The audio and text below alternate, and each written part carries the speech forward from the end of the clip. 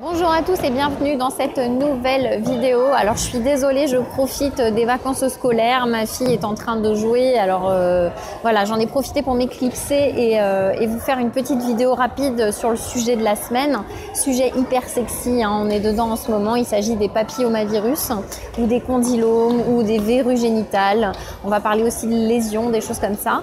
Et euh, voilà, donc désolée pour le bruit environnant. Je pense que le micro est bien branché et qu'il va bien fonctionner. Mais voilà, effectivement, j'ai pas pu trouver mieux euh, aujourd'hui. Donc, euh, alors aujourd'hui, on va voir le HPV, le mode de contagion, le mode de transmission. Donc, on l'a vu dans une précédente vidéo, il y a pas mal de souches. Là, on va vraiment parler du HPV qui agit au niveau des muqueuses et particulièrement au niveau des muqueuses génitales sachant que ça peut agir aussi au niveau euh, des muqueuses pharyngées hein, ou des muqueuses donc situées au niveau de la gorge. chez les hommes, ça peut aussi être au niveau de l'anus également, chez les femmes aussi d'ailleurs. Donc on dit en fait plutôt, il s'agit de condylomes plutôt euh, génitaux. Voilà. Euh, je vais parler de condylomes, mais je vais aussi parler du HPV en général, sachant que les condylomes, encore une fois, font partie de la famille des HPV, euh, mais ce ne sont pas les seules souches de HPV, puisqu'il en existe vraiment, vraiment beaucoup. Elles sont très nombreuses.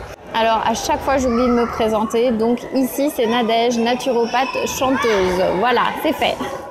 La suite. Le mode de contagion de ce virus-là, ben, en fait, il est uniquement par contact cutané ou contact muqueux. Donc, vous savez, la basique verrue plantaire qu'on retrouve euh, en marchant, en allant à la piscine. Euh, je dirais que c'est un petit peu la même chose avec le HPV.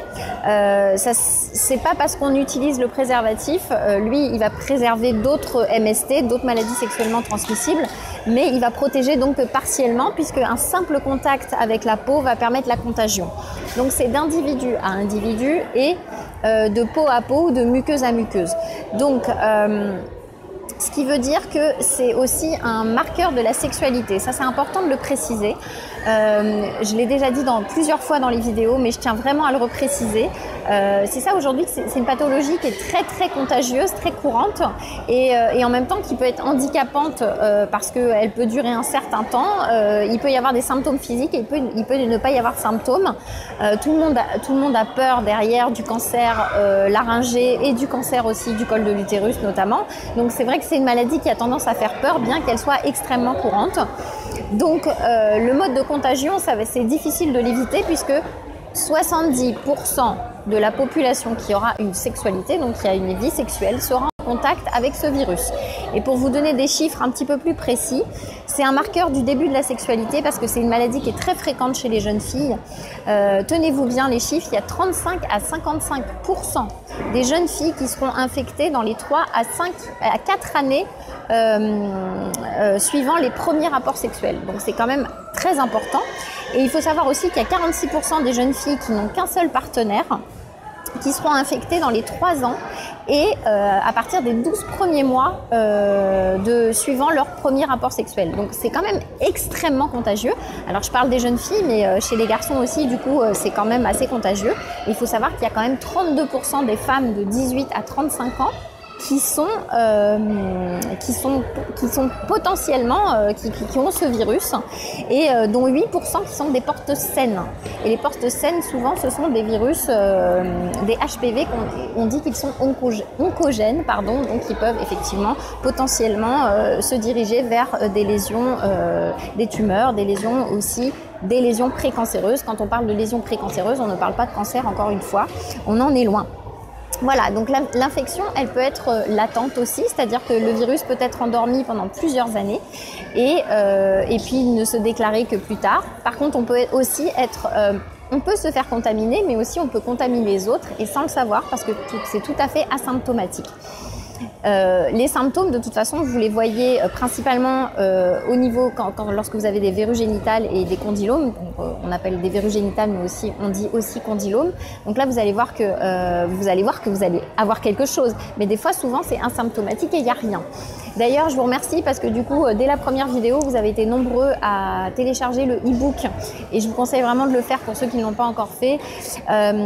Le e-book Les 5 erreurs à éviter en cas de condylome HPV. Vous allez trouver une mine d'informations importante. Vous allez, euh, j'espère, en tout cas, cet e-book, il a été fait, il est gratuit, il a été fait pour vous rassurer si jamais vous aviez des problèmes, euh, des, en tout cas besoin d'être rassuré, si, euh, parce qu'on en entend beaucoup de choses sur le papillomavirus. Donc vraiment, les 5 erreurs à éviter en cas de condylome.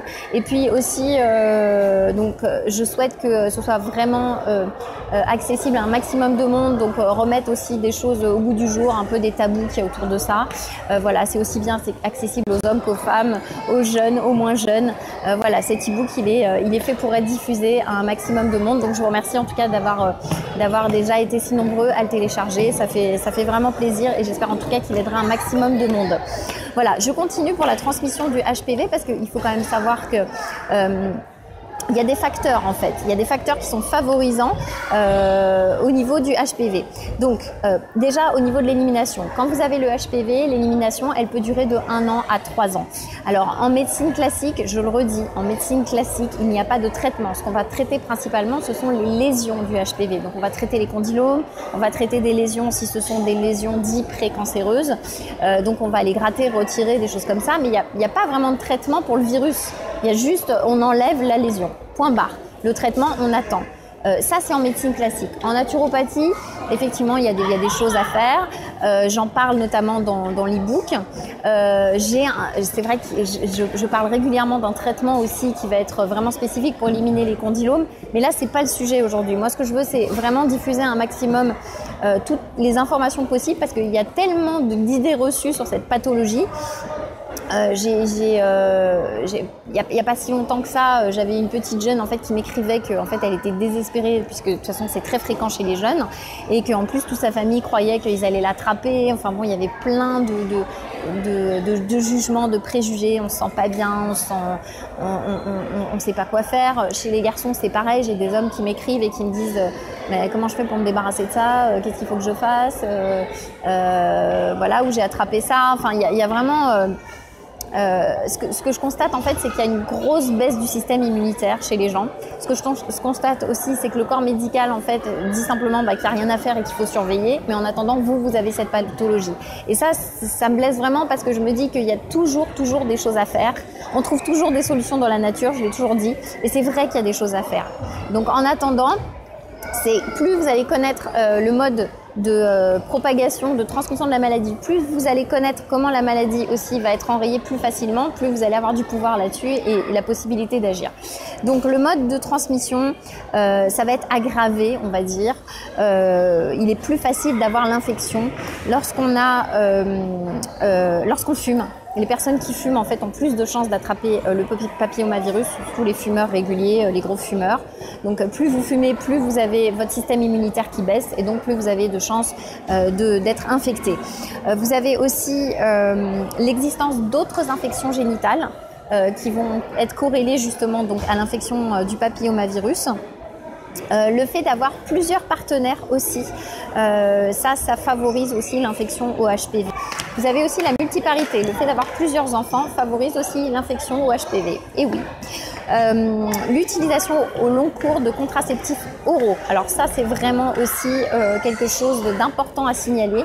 Euh, c'est corrélé en fait avec l'infection au papillomavirus tout ce qui est déficit du système immunitaire, donc toutes les personnes qui sont atteintes du VIH, des, personnes qui prennent des immunosuppresseurs. Hum, la précocité des rapports, plus vous avez des rapports euh, jeunes, plus vous êtes sujet effectivement à pouvoir être euh, infecté par euh, le HPV.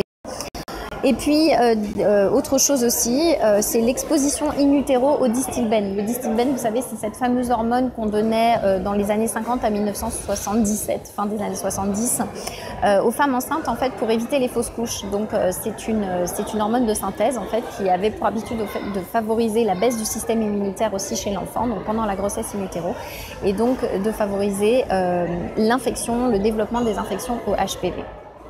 Voilà, donc vous, voyez qu'il y a quand même des facteurs qui sont aggravants. Si on devait retenir euh, plusieurs choses, les, principales choses à retenir, c'est que le HPV, c'est une infection sexuellement transmissible qui se transmet principalement de peau à peau, donc pas, ou de muqueuse à muqueuse, donc pas obligatoirement, pas besoin d'avoir de la pénétration. Le préservatif ne protège pas de cette pathologie. Euh, la plupart des femmes en sont euh, porteuses. Euh, donc euh, voilà, c'est dès et ce dès le début de leur sexualité. Donc euh, ça il faut le savoir. on déclare ou pas la maladie, elle peut être latente, elle peut se réveiller plus tard. Vous pouvez être infecté et ne jamais savoir que vous avez été infecté. Vous pouvez infecter quelqu'un d'autre sans jamais le savoir vu qu'il n'y a pas de symptômes. voilà. donc si vous avez le même partenaire et que vous avez l'habitude d'avoir des rapports protégés, c'est bien, mais ça ne protégera pas du papillomavirus. Euh, voilà, c'est principalement ce qu'il y avait à retenir et surtout aussi à retenir qu'il n'y a pas de traitement du, euh, virus en médecine classique. Et ça, je suis désolée, ça me désole et ça me désole qu'on n'ait pas, on soit pas plus euh, euh, attentif à ça en fait parce que quand on prend conscience que le papillomavirus il s'installe et surtout il n'arrive pas à partir euh, parce qu'il y a une baisse du système immunitaire, et eh ben il faut tout simplement savoir comment remonter le système immunitaire et mettre toutes les chances de son côté pour le faire. Vous allez voir que ça fait partie des cinq erreurs que vous retrouvez dans l'e-book et euh, que la cinquième erreur, encore une fois, je l'ai déjà dit, est très très importante. Elle est primordiale pour pouvoir au maximum guérir de cette infection, que ce soit des condylomes que ce soit soit le HPV en général. Donc je vous invite à aller euh, télécharger cet e-book. Il est totalement gratuit et euh, à diffuser si ça peut aider vos amis, vos copines, vos cousins, vos cousines. Voilà, n'hésitez pas à, le diffuser. Et ben voilà, je crois que c'est tout ce que je voulais vous dire. Donc j'espère que cette vidéo euh, vous aura plu. Si vous avez des questions, bien sûr, vous pouvez les poser en dessous de, la vidéo, là, juste en dessous. N'hésitez pas, j'essaierai d'y répondre au mieux et lire tous vos commentaires comme d'habitude. Voilà, d'ici là, je vous souhaite euh, une belle fin d'été et je vous dis à très très bientôt. Prenez bien soin de vous. Ciao